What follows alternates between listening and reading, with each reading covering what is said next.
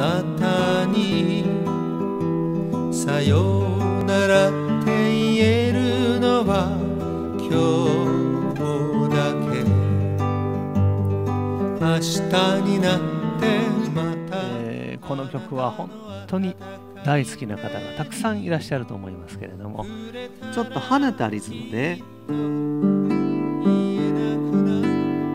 新たに米分の e マイナーって分数のコードが出てきました。実はこの形を2つ上の弦に全体にずらすダルセインの2をした時もあのリピートで繰り返しを入れてくださいということなんです。僕の髪が肩まで伸びて君と同じに。ピックを使う場合ですとピックで5弦を弾いてそれから3弦2弦1弦をダウンアップ。F と B フラットこれですねが抑えられなくてギターをやめました。まあこれねコツと言いますかねはね親指の位置が問題。でもう一つ大きな影響が出ますのは指のこの、えー幅なんですね。C G 一番こう盛り上げたいとこですので「幸せ。じゃらじゃらじゃらじゃらじゃら」ってやっ子供たちが空に向かい両手を広げ。6弦を弾いて1弦から3弦まで。ダウン。全部ダウンで結構です。5弦。ダウン。空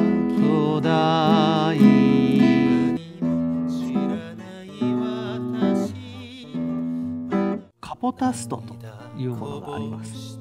こうすることで3つ目から B7 をこの前にやっといてタッ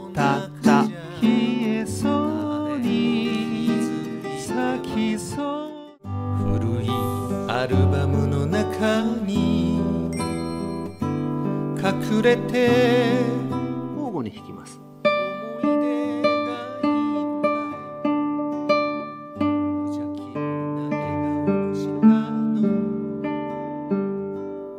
シンデレラささの部分で自分でソロが弾けたら本当にこう弾き語りのクオリティっていうのは上がるんですけれど今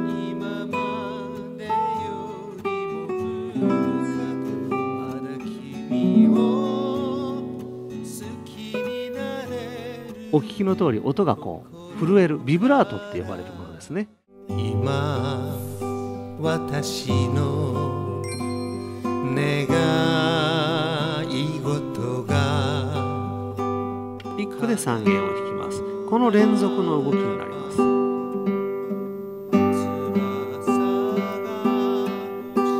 3と4とおという形になります。ダウンが2回つながって出ますのでね。母がくれた e マイナーに変わってダウンアップっていう形になるんですね。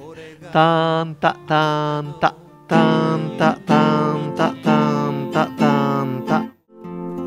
くれなずむ街の光といろんな弾き方がありますけど最も憧れる弾き方。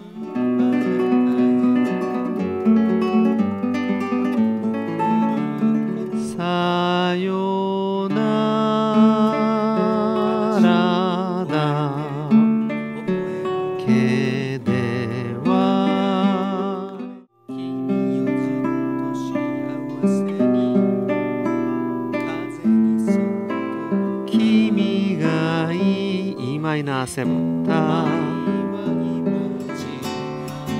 るか長い道を歩き始めた。君に幸せあれ。